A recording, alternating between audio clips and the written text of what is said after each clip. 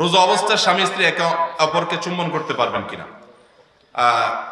যদি এটার ফলশ্রুতিতে নিজেকে নিয়ন্ত্রণ হারিয়ে ফেলার আশঙ্কা থাকে, তাহলে জায়েজ নেই। আর সেরকম আশঙ্কা না থাকলে জায়েজ আছে এবং বিভিন্ন হাদিস দ্বারা এটা প্রমাণিত আছে যে এটা যদি অনিয়ন্ত্রিত হয়ে যাওয়ার আশঙ্কা না থাকে, তাহলে এটা জায়েজ আছে। স্বামী স্ত্রী একসাথে নামাজ পড়া যাবে কিনা? এবং যদিও পড়া যায়, তাহলে তার নিয়ম কীভাবে? স্বামী স্ত্রী একসাথে নামাজ পড়তে পারেন। যার যার নামাজ আলাদা আলাদা পড়লে তো পাশাপাশি পড়তে পারে জামাতে নামাজ পড়লে স্বামী সামনে দাঁড়াবেন স্ত্রী পিছনে দাঁড়াবেন। এবং স্বামী একামত দিবেন, আবার ইমামতিও করবেন। করে জামাতে নামাজ পড়তে পারেন যদি তারা দুজন হন। হাজরা আসদ নাকি দুধের মতো সাদা ছিল, কিন্তু আদম সন্তানের পাপের স্পর্শে পাথরটা নাকি কালো হয়ে গেছে। কথাটি কি সত্য?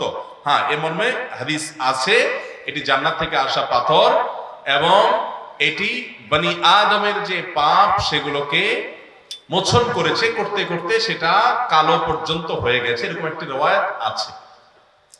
কি কি কারণে একজন ইমামের পিছনে নামাজ পড়া যাবে না?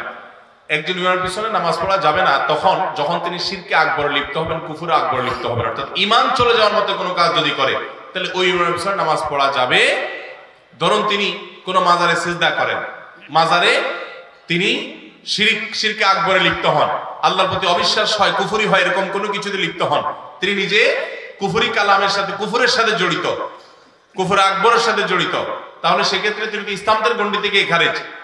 কুফুর এবং শিরকে আকবর যদি করে কেউ মুসলমানই না, তার পেছনে নামাজ পড়া যাবে না। এটা ছাড়া অন্য কোনো গুনাহ বা পাপ যদি তার মধ্যে থাকে, সে প্রকাশ্য কোনো গুনাহে লিপ্ত, কোনো পাপে লিপ্ত, সুদের কারবার লিপ্ত, জেনায় করেছে, এরকম যদি কোনো পাপে লিপ্ত হয়, তার পেছনে নামাজ পড়লে নামাজ হয়ে যাবে। কিন্তু এরকম ইমামকে ইমাম হিসাবে নিযুক্ত করা মসজিদ কমিটির লোকদের জন্য জায়েজ নাই, যে প্রকাশ্যে গুনাহে লিপ্ত।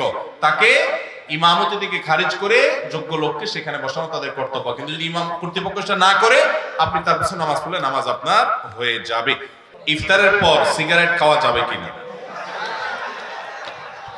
বিসমিল্লাহ প্রশ্ন। ভাই, এটা যে শুরুতে তো খেয়াল করলাম না। পনেরো ঘন্টাই ধরে পনেরো ঘণ্টা যদি আপনি রোজা রাখেন,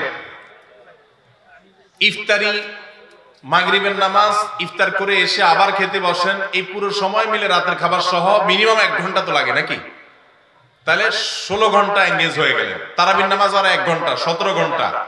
সাহারি আ- আপনার ঘুমাইতে যান আপনার ছয় ঘণ্টা মিনিমাম তাহলে কত ঘণ্টা হলো? তেইশ ঘণ্টা। আর সারি খাওয়া টাওয়া মিলিয়ে ফজর নামাজ মিলিয়ে বাস ফজর নামাজ তো রোজার মধ্যে চলে গেল। সারি খাওয়া এবং ঘুমের ঘুম থেকে উঠা, এই পুরো সময় মিলে আরও এক ঘণ্টা। তাহলে চব্বিশ ঘণ্টা হয়ে গেল। আর যদি বলেন যে না, এক ঘণ্টা পুরো যায় না সারিতে, তাহলে আধা ঘণ্টা সাহারিতে গেলে আর আধা ঘণ্টা থাকে। রমজান মাসে কেউ এই আধা ঘণ্টা, এক ঘণ্টার সময় কষ্ট করে তার নেশাটাকে আটকে রাখতে পারলেই তার দ্বারা পুরো তিরিশ দিনে অভ্যাসটা পরিবর্তন করা সম্ভব। কারণ তেইশ ঘণ্টা তার ধূমপানের সুযোগই নেই।